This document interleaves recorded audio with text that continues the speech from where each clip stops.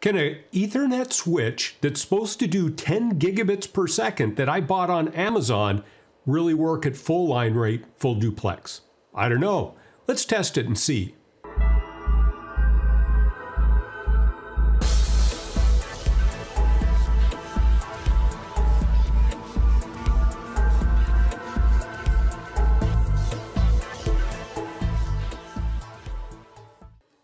Hi, Mike Pennacchi here with Network Protocol Specialists. What we're going to do is we're going to check out this new MikroTik switch I just got off of Amazon and see if it'll really do 10 gig full duplex. So here's the switch that we got, and this is the MikroTik CRS 306-G-4S Plus IN. So what this is, this is a little switch that they've got.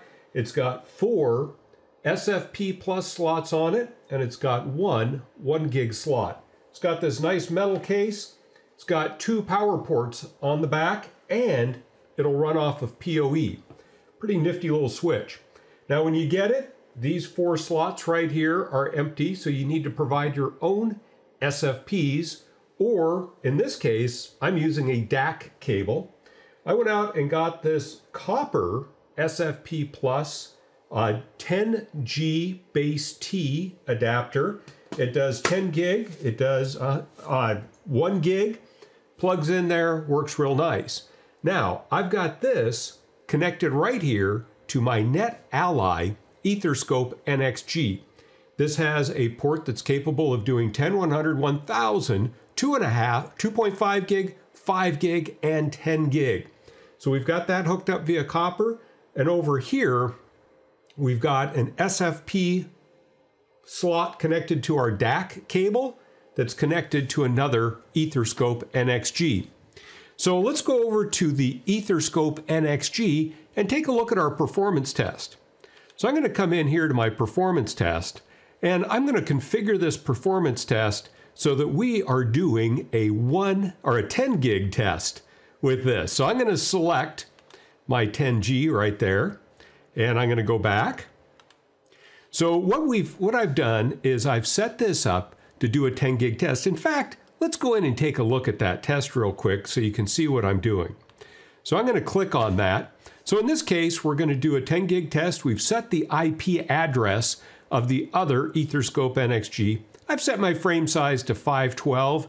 Uh, Frankly, we would see 10 gig of traffic going across with 5 12 byte frames, but this is a way to exercise that switch and make it do more frames per second.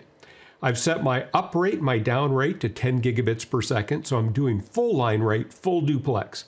I've set my threshold to 0% loss. If I lose one frame as part of this test, we're going to fail the test. Uh, our overrides and so on are all set to the default values. So we're going to come back here and we're going to run our test. So I'm going to go back. This is going to be a 30 second test. I'm going to go ahead and hit start. We see that we kick on our 10 gig test. It's doing 10 gig up and 10 gig down. And right there we see our loss is 0%. Our latency is around 36 microseconds and our jitter is less than one microsecond. So as we start going through, you'll notice that we're at 9.9 gigabits per second. That's because this is counting our data rate, not the entire frame with the headers on it. So our actual data rate is going to be less than 10 gigabits per second, but we are using up 10 gigabits per second of bandwidth.